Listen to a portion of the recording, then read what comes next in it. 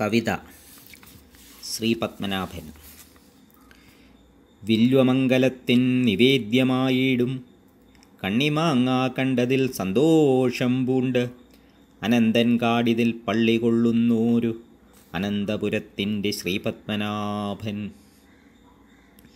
ഗർഭസ്ഥ ശിശുവിൻ വധം ചെയ്തതിൻ ശാപമേറ്റോരശ്വത്താമാവിനു പോലും പാപമുക്തിക്ക് മാർഗമായിടുന്നൊരു അതിപ്രാചീനമാം പുണ്യക്ഷേത്രം.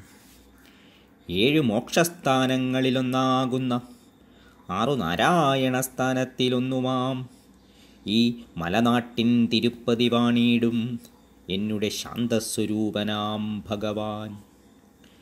ഗണ്ഡകീ നദി തൻ തഴുകലേറ്റോരു ശുദ്ധമാം പന്തീരായിരം സാളഗ്രാമ ശിലയിൽ കടു ശർക്കരയോഗക്കൂട്ടിൽ തീർത്തോരനന്തശായിയാം വിഗ്രഹം.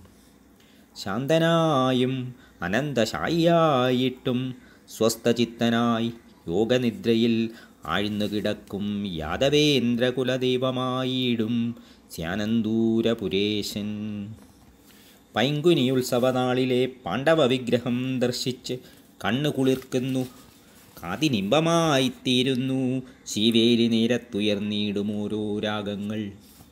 ഭക്തർ തൻ ആശയും ആശ്രയകേന്ദ്രവും നേന്ത്രപ്പഴം തന്നിൽ പാണ്ഡിത്യം ജാലിച്ച് കോവളം കവികൾ കൻപോടു നൽകിയ ആശ്രിതവാത്സല്യം അവർണനീയവും. ഒറ്റക്കൽ മണ്ഡപം തന്നിൽ നിന്ന മൃദുമന്ദഹാസം കണ്ടിപ്രകാരം ചിന്തിപ്പൂ. കവികളിൽ ചൊരിഞ്ഞോരനുഗ്രഹം. അടിയനും കൃപയോടെ നൽകിയിടേണം. കവികളിൽ ചൊരിഞ്ഞോരനുഗ്രഹം അടിയനും കൃപയോടെ നൽകിയിടേണം.